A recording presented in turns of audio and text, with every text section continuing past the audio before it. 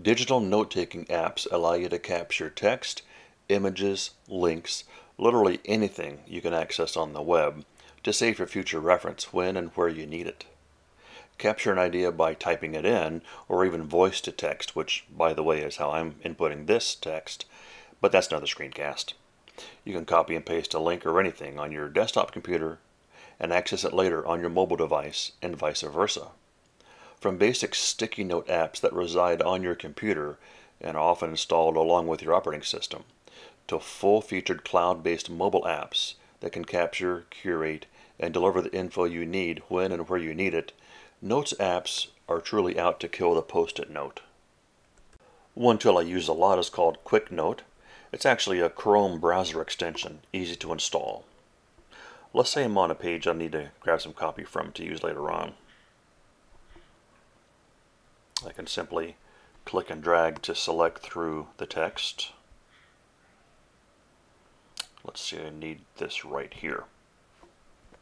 And when I right click on it, I can add selection to note. When I do that, a little pop-up on the right side shows up, and there's my note.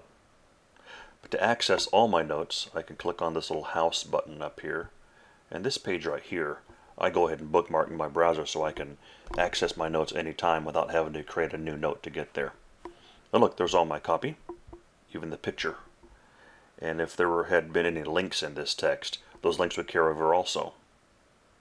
So, I can access this note anytime I need it in the future, and even if I sign into Chrome on a different computer, it will be there also.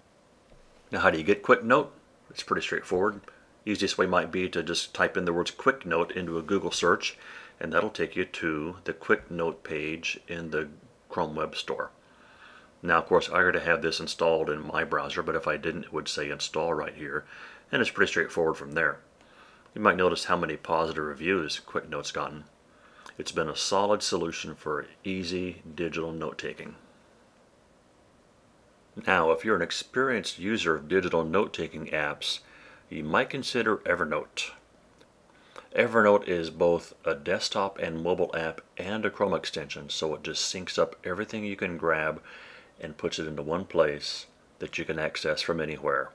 But of course, Evernote is yet another screencast. I hope you enjoyed this screencast on note-taking apps. If you have any questions, give us a call, stop by, an email. We can help. Thanks.